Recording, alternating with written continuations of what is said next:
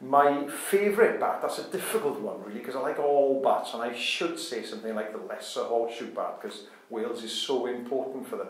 But my favourite bat is the brown long-eared bat. Why? Well, because they have these huge ears, and when they roost, they tuck the ears under their wings. I think that's fantastic.